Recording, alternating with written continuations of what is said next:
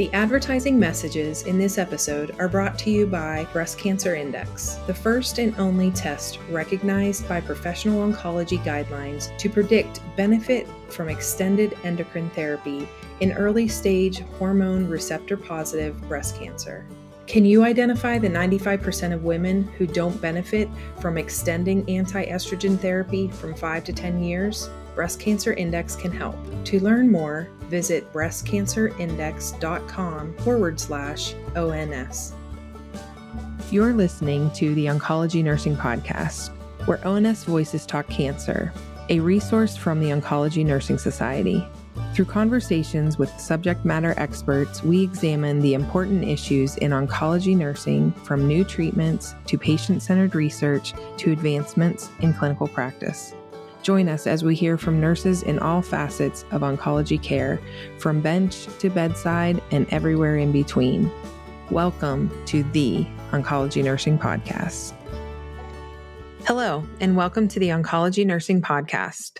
I'm your host, Stephanie Jardine, Oncology Clinical Specialist at ONS, and today we're talking with ONS member Elizabeth Bettencourt oral oncolytic nurse navigator at Palo Alto Medical Foundation in Sunnyvale, California, and member of the Silicon Valley ONS chapter to discuss the current picture of oral adherence to cancer therapies, the COVID 19 pandemic's impact on adherence, and ONS's guideline recommendations for oral adherence. You can also earn free NCPD contact hours after listening to this episode and completing the evaluation we've linked in the episode notes. Thanks for joining me today, Elizabeth. I'm very welcome. I'm very excited to share what I have learned over the years. Great. You know, as we all know, therapy for patients who have a cancer diagnosis has changed tremendously over the years. With the advances of oral therapies, have really brought challenges with that. While we thought, wow, how wonderful patients don't have to be in the hospital, they're not attached to an IV pole, and those types of things, we've really come to see that there are other challenges that we face with patients who are receiving oral therapies. So, one of those, or maybe the most important challenge that we experience with patients, is related to oral adherence. To start us off, can you explain oral adherence and why that is so important? Yeah, so oral adherence implies, in general, actually following the ordered dosing schedule that's ordered by the provider.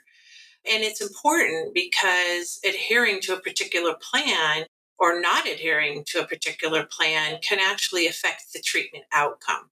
In other words, if a patient's not following the dosing schedule, then we're not going to see the outcome that we had hoped for in the beginning. But adherence is really quite a complex process, and I think we will get into the complexity of that as we continue on this discussion. Okay, then let's talk a little bit about what the nurse's role in supporting patients with oral adherence is. So, nurses have a really unique position in supporting patients. They work side by side with the ordering provider. They're an intricate part of the care team. They have that connection and a relationship they've established with the patient since the patient's diagnosis. Nurses excel in assessment skills, they excel in symptom management, and they're able to assess a patient before starting a medication like this to determine if they're ready to start an oral oncolytic treatment.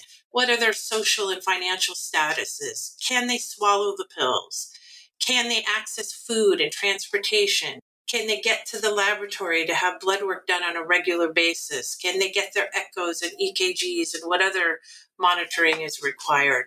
Again, nurses excel in symptom management, and managing symptoms is essential in helping patients to continue to adhere to their treatment regimen. Again, the nurse is in a unique position because they've been working with that patient. They developed this relationship from the day the patient was diagnosed throughout the many years of the care, whether it's through the end of life or until they finish treatment. So nurses have this unique connection that's going to allow them to learn and know about their patient. And a patient trusts that relationship and they're much more open and willing to talk to a nurse about some of their lack of support or needs, things that they need in order to adhere to a particular plan. I can't agree with you more on that. I think that we as nurses really do have a special relationship with our patients and they confide in us in a lot of things. So they may be speaking with their physician about what this new therapy is and treatment, and they go and find out more about it from the pharmacy or something like that and come back and start talking to us about what their concerns are. And I think that's so important to recognize that we have that ability to work with our patients in that way. So, in regards to that, what other members of the interdisciplinary team support patients through oral adherence? Oral adherence is a very complex issue, and here's some of the complexity we come into. It's not just the physician, the nurse, and the and the patient. Adherence involves pharmacy staff, social workers, financial support, the person in the pharmacy that helps to schedule all the refills. So, pharmacy plays an important role. I mean, they are connecting with that patient, hopefully, with every refill that they ship out to a patient. So, they have the ability to maybe come across some issues that have been going on for that particular patient and relay it to the provider team so we can follow up. Social workers can be involved to assist patients with getting needs outside of their actual oral cancer treatment. Do they need transportation? Do they need access to food? Are they homeless? Do they need a place where they can get these medications delivered? Those types of things a social worker is great at helping out with. Financial counselors come in and helping patients afford their medication. Um, I think a lot of us already know how important this role is in supporting patients getting copay assistance grants or copay discount cards. And we have to remember when you're on an oral cancer medication, it's not a limited time for many of these patients. This is something that goes on year after year as long as the drug is working. So even a copayment of $30 a month can be quite significant when you look at having to pay that over the course of five, six years. So the financial counselors play a really big role as well. I kind of see this issue as the nurse is kind of the hub of a spoked wheel and then you have your pharmacy and your provider all on the outside edge but it's the nurse that's connecting all of these different support services together and being the main connection for the patient. It's so important to know who all those players are as we're working with our patients and are trying to get them connected with the right folks. Definitely so you mentioned the pharmacy and pharmacists. How can the type of pharmacy a patient uses affect their treatment? We basically have two types. We will have a an in-house pharmacy, so that's a care organization that has their own dispensing pharmacy.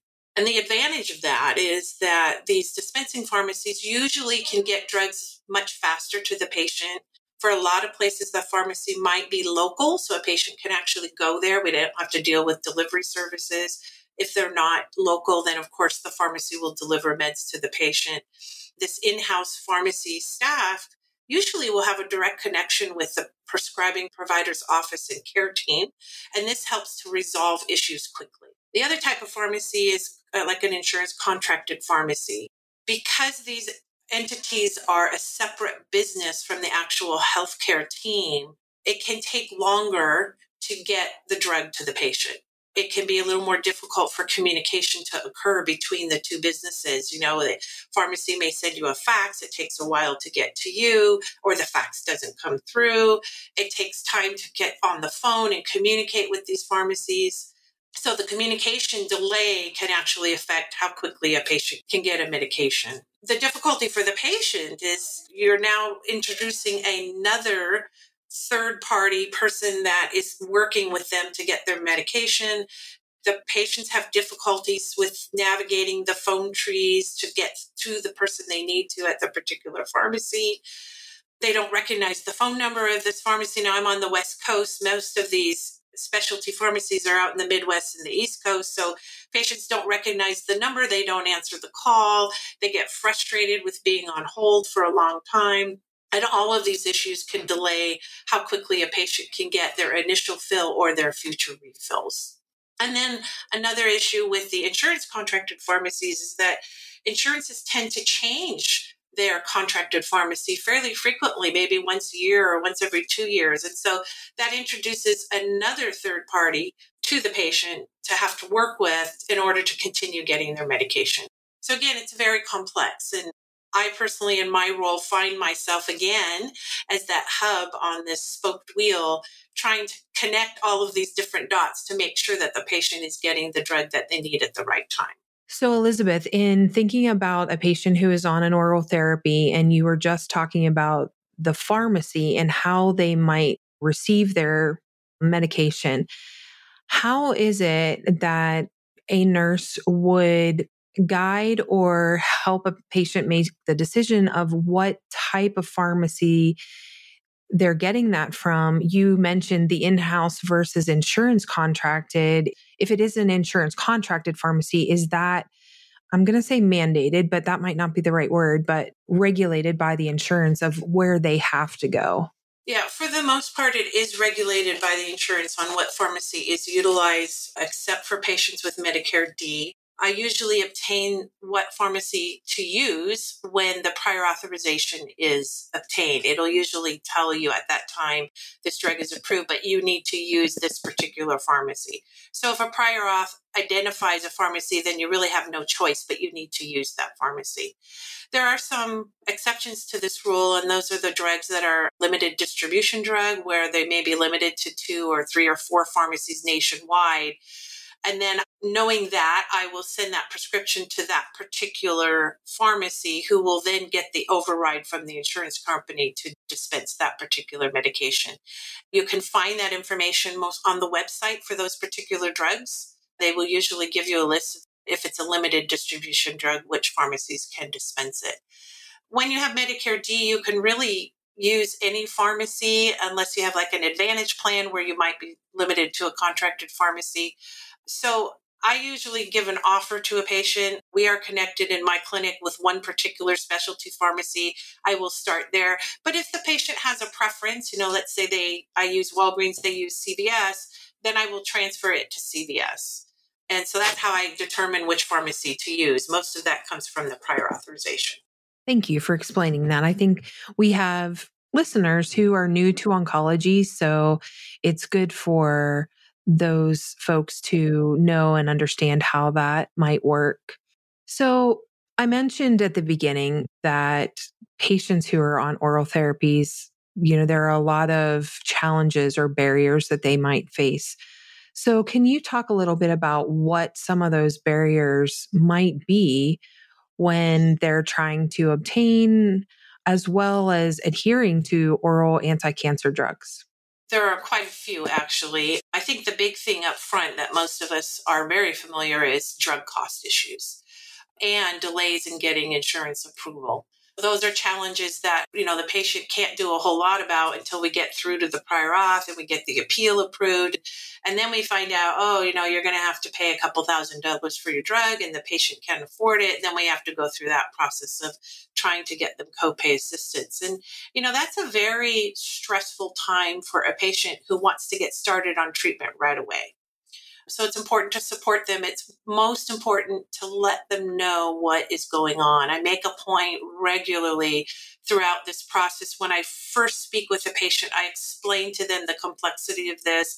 I let them know, you know, this is not a drug you're going to get tomorrow. It's going to take up to 10 days to two weeks. There could be some cost issues. So it's important for the person who's communicating with that patient to know about all of these different facets of this complexity of obtaining medication. The other challenge and barrier for patients is connecting with these particular dispensing pharmacies. And patients do get frustrated when they get generic phone calls from a pharmacy saying one of those robot calls, oh, I have your your medicine is ready, but it doesn't say what the medicine in. The patient has no idea and they don't call back. And, you know, three days later, then the pharmacy's calling me and I call the patient. So again, information to the patient, letting them know what's going on is going to help overcome these particular barriers. Refills, again, same process as trying to make sure refill prescriptions get to the pharmacy in time so patients are getting their refills in time. That can prevent a barrier for a patient to continue taking the medication. And then the other part of this is side effects and the complexity of the treatment, how many pills they have to take. Are they getting a combination treatment? And is it IV with oral? These all prevent barriers to a patient to continue taking treatment. what kind of support do they have at home? Do they have a home? Do they have someone at home that can remind them to take the pills if they need that? Someone at home to help get the delivery of the drug into the house. These are all challenges that affect the patient's ability to continue to being adherent to a particular treatment plan. Patients get confused when you have so many multiple people involved in this process and they're getting multiple phone calls from the pharmacy, from the social worker, from the doctor's office, from the scheduler at the pharmacy. They get overwhelmed and they don't know who's in charge and they start to lose faith in, you know, is this really going to happen? And some people actually think, well, maybe this drug isn't so serious since it seems like so many people are doing so many different things. So again, communication is key in the very beginning and during treatment to ensure that patients have what they need so they can be adherent to these treatment plans. How can oncology nurses help patients to overcome these barriers that you were mentioning? So, I've talked a lot that nurses have the ability to assess patients ahead of time, make sure that they're ready to start this treatment. But a really important facet is once they've started treatment is proactive follow up. And by that I mean don't wait for the patient to call you, you call them. Call them on a regular basis. I have been doing this for over 12 years, and my standard is to call a patient within the first five to seven days. Number one, I'm reinforcing the dosing schedule, I'm making sure they're taking it the right way. I'm reinforcing side effects. I'm preparing them for what they might start to experience in the, as the weeks go on. And then I continue that follow up at least weekly for another three to four weeks, depending on the patient and the drug. But I would say the majority of patients, this is our standard. And by doing that, we are able to assess side effects quickly and maybe support a patient to manage those side effects and have them continue on treatment. What I have found in my experience is when we educate patients about the potential side effects of treatment, as they get into that third, four week, all of a sudden they're on a drug and they wake up in the morning and they have a rash. And what do they say? Oh, Elizabeth told me a side effect was a rash, so I don't need to worry about the rash. But by my proactive phone call of that patient that week, and the patient says, Oh, yeah, I got a rash two days ago. And because of that proactive call, I'm able to jump on it, manage that rash, and keep them on treatment. So I think proactive follow up is essential to help patients overcome barriers to adhering to their treatment plan. Excellent. Thank you. Those are great tips for the nurses who are seeing patients that are on these oral anti cancer drugs.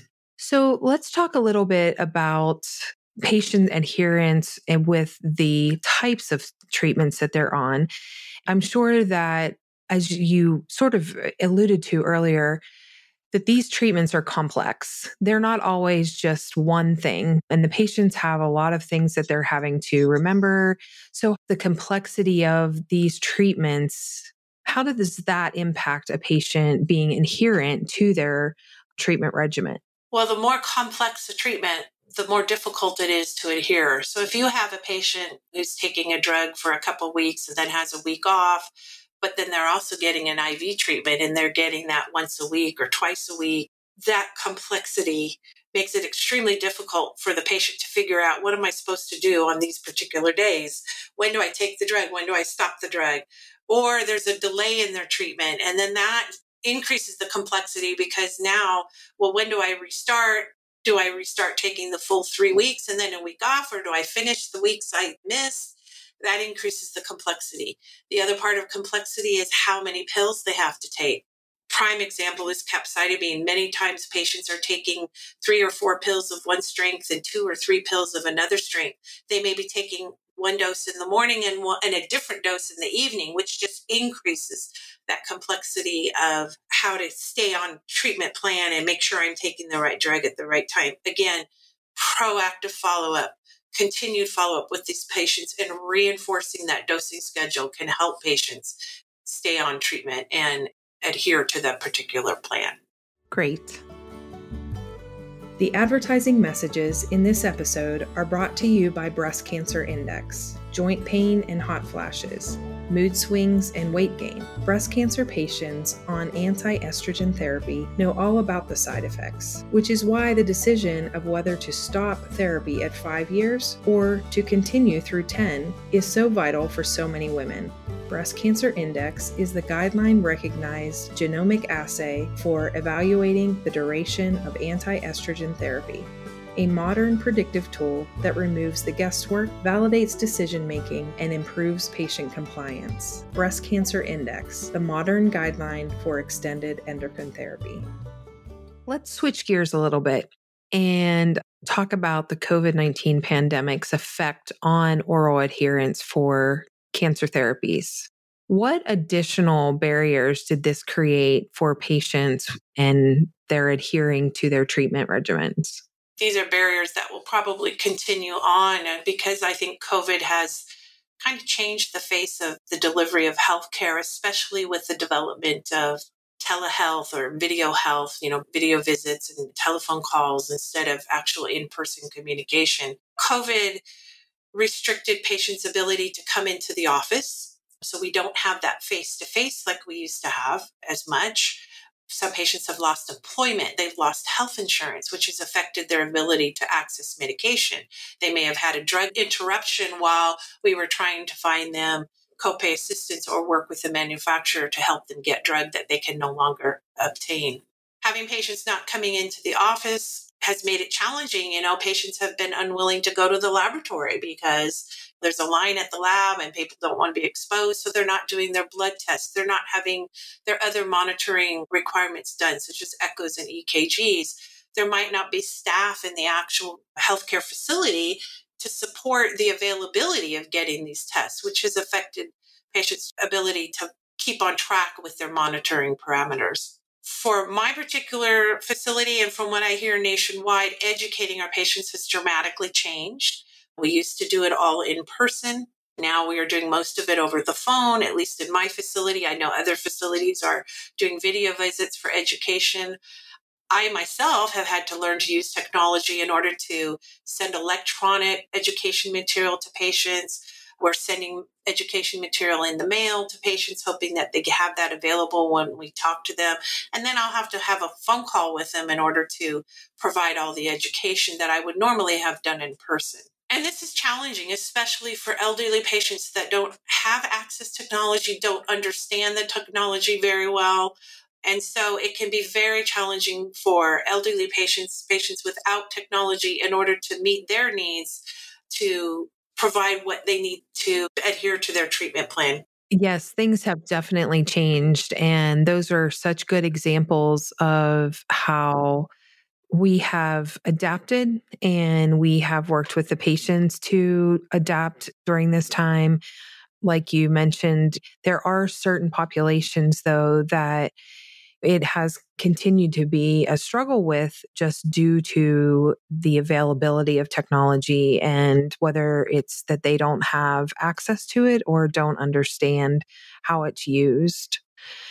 So, the ONS guidelines to support patient adherence to oral anti-cancer therapy provides evidence-based recommendations for patients who are prescribed oral anti-cancer medications. Can you tell us a little bit more about those guidelines and what they recommend? Yes, these guidelines provide evidence-based recommendations to support adherence and what the panel determined is that there really is no standard of care in the management of adherence for patients on cancer medication.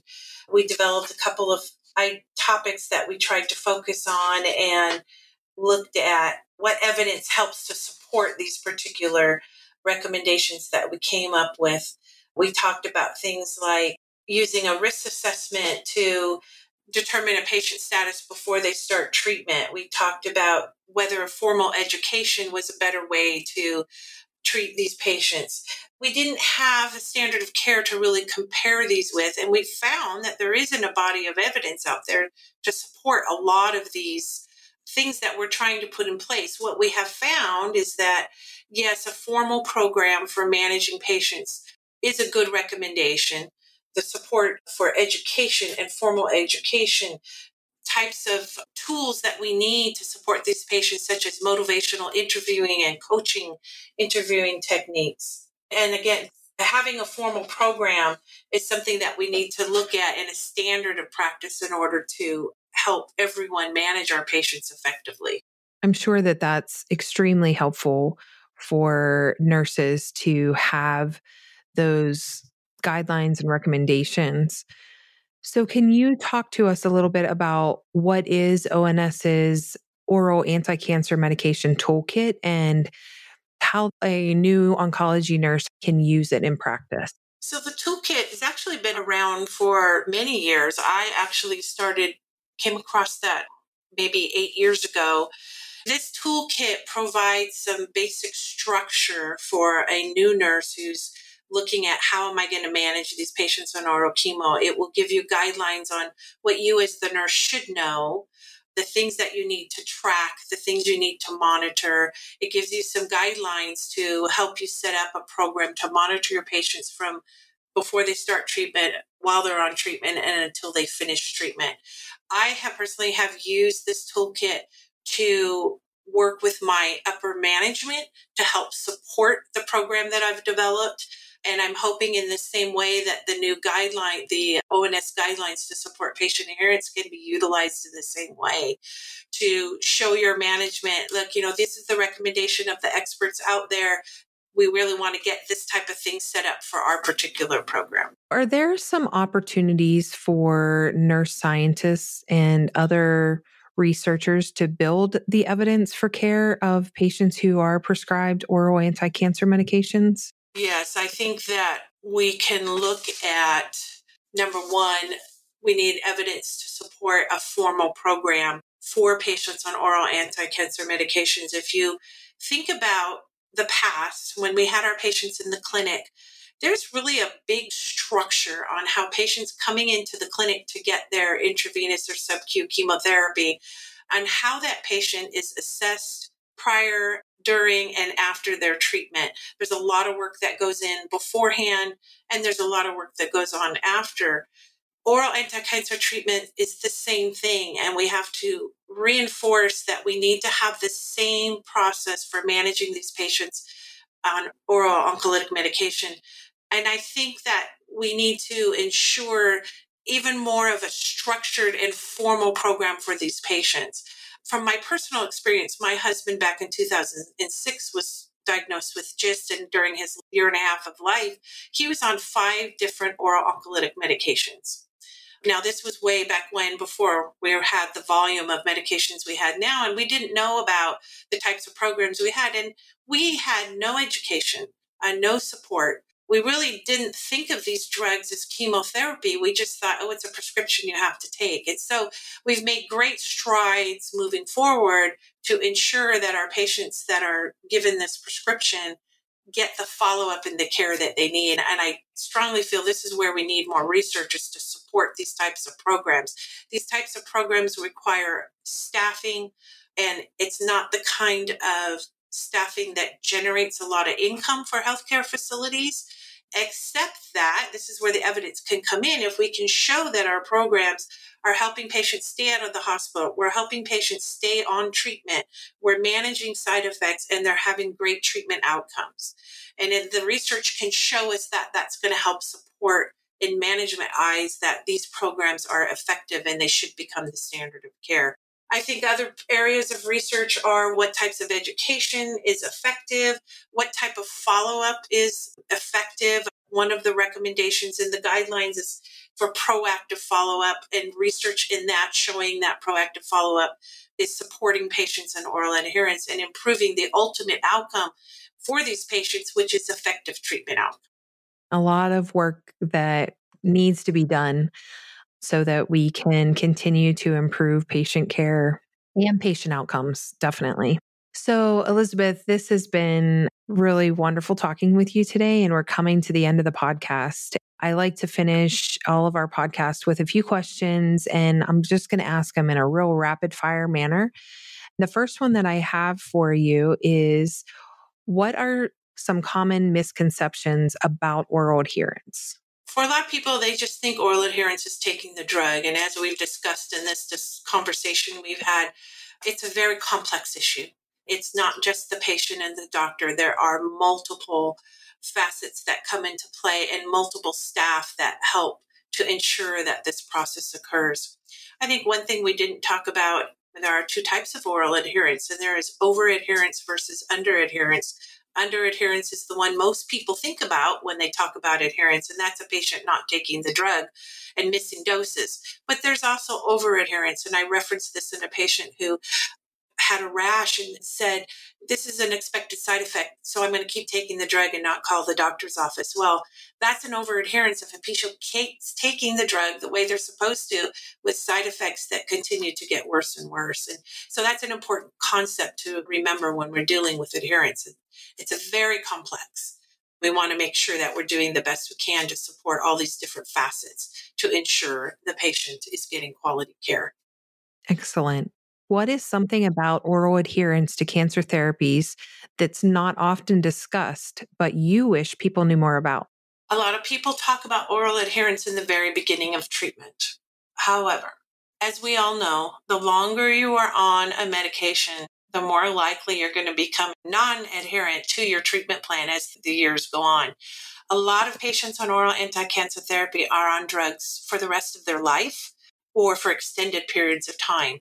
And so the necessity to ensure adherence throughout their course of treatment is just as important in the beginning and just as important throughout the course of their treatment. To ensure that two years down the line, we still have a patient who's getting their refills on time, who's taking the drugs the way they're supposed to, who's not become lackadaisical as a not a negative word, but we all do this when you take a drug more and more often you of oh i missed a dose here or there no big deal. Oh i'm going on a trip for two days i'm not going to take my drug with you. That's just human nature and it's important to reinforce with patients that no we need to keep doing that and the only way we can do that is by being proactive and following up with these patients on a regular basis throughout the course of their treatment. Really good idea what are some additional training or resources that oncology nurses need to support their patients' adherence to oral anti cancer medications? I think for me, over the course of these 12 years that I've been an oral oncolytic nurse navigator, understanding insurance coverage, I think, is extremely important. That's not something we are routinely trained in as nurses, but I have found it invaluable for me to know how insurances cover drugs, especially Medicare D, because as you know, we're the ones who end up essentially explaining this to patients when they call you and say, Oh, the pharmacy said I have to pay $3,000. And so you have to explain how that works. I mean, I've had to take extra steps to learn this and understand how it works. And that's training I think nurses in this particular role are going to need to find help with to understand it. Also, understanding how the pharmacies work. Every pharmacy is different. You know, if you have in house, learn the intricacies of that pharmacy. What do the different staff members do? When you have an issue, who do you call? Try and get a primary contact person in that pharmacy to make your communication more effective. When you're dealing with specialty pharmacies that are contracted with insurance company, every pharmacy is different on how they manage refills, how they interact with the patient. So learning how these pharmacies work and getting a contact for every pharmacy has been key for me to keep my communication open and to get issues resolved. Lastly, what are some additional resources for patients and providers who might want to learn more about oral adherence? ONS, of course, is coming out with great literature and has become a big advocate of trying to get some more research and literature out there to help support providers and staff. The ONS Toolkit, excellent resource for someone trying to set up a program and to justify to their management the use of a program. Now we have the ONS guidelines to support. There's an organization called NCODA, which works specifically on patients with oral oncolytics. There are some other resources out there to help with education. We've got the Oral Chemo Ed Sheets website, which provides patient education material specific to the oral oncolytic medication. But again, more literature, more research is needed. And I am grateful and happy to see that these things are starting to come into place as the years go on.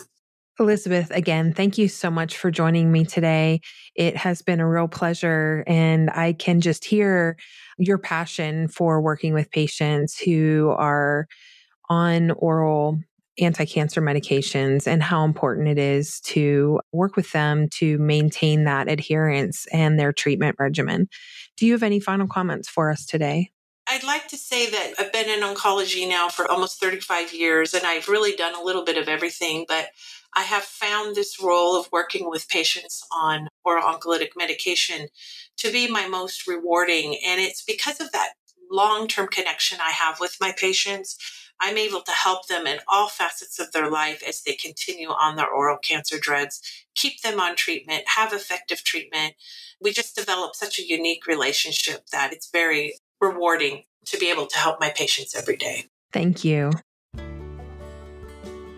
Thank you for listening to the Oncology Nursing Podcast. Tell us about your favorite part of this episode by leaving a review on iTunes or wherever you downloaded your podcast. For more resources and information about oncology nursing, visit us at ons.org or voice.ons.org.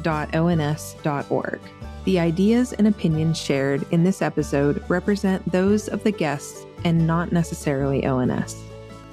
The advertising messages in this episode were brought to you by Breast Cancer Index, the only guideline recognized test for extended endocrine therapy. Go beyond traditional clinico-pathologic factors with the only tool validated to inform decisions about extending anti estrogen therapy from 5 to 10 years.